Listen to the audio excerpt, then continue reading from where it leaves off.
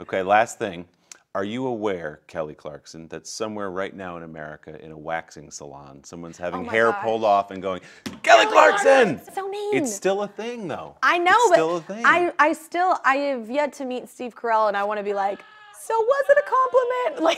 Like, I don't know if like No, you're in I- no, pain oh, I and think you think of was. Kelly Clarkson. no, it was I don't know. name that was on top of mine, and he screamed it, It out was, to get him through the pain. That's Pretty the way I read it. hilarious. Yes, I do feel gypped though, because I've never met him, and I'm a huge fan. We need to make that happen. I know. I'm just saying it was kind of a pop culture moment, and I'd not, I haven't even met him. I feel gypped. How'd you first hear about that? I was literally in a movie theater walking in late with some friends, and we were sitting down, and it was a preview, and they said, and it happened in a preview, and I was like, did somebody just say my name? And I was like, and we were so confused because we were like coming in, and we were just like, wait, what? And and I didn't realize till we'd left, and and the people literally in the theater were like, they said your name. Steve Carell said your name in the movie, and I was like, that's cool, and I just thought it was like cool, and then it like blew up. So It's like a famous movie moment. I know it's kind of cool. Thank you, Steve Carell. I think it was a compliment, by the way.